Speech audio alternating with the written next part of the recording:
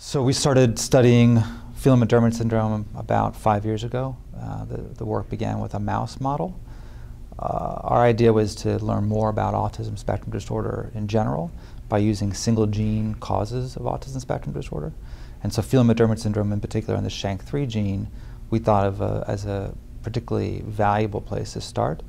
Uh, the SHANK3 gene, we know exactly what the function is, right? We, we understand the SHANK3 gene to provide scaffolding to brain cell connections. And when that gene function is disrupted, the protein isn't being transcribed, and, and essentially the ability of the brain to communicate is, is affected. Even the most basic processes of learning and memory are affected. And then when you look at the, the way that kids are, we saw a lot of them having many different kinds of autism features the social and the communication deficits, and the restricted and repetitive behaviors. Um, so for us, it was really important to, to link autism with Phelan-McDermid syndrome just because of how much more awareness there was around autism and to kind of compensate for how rare Phelan-McDermid syndrome was considered to be. And we now understand Phelan-McDermid syndrome to actually be one of the more common causes of autism. So we understand autism now to be due to many, many, you know, perhaps hundreds of different genes.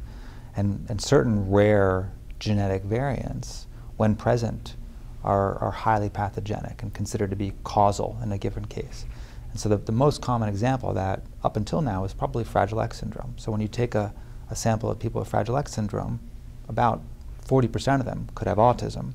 And then if you take the, the universe of people with autism, probably around 1 to 2% have Fragile X syndrome.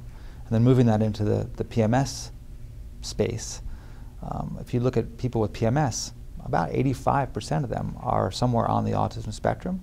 But then among people with autism, about a half percent to 1% have PMS. So we do think that PMS accounts for between a half a percent and 1% of autism cases.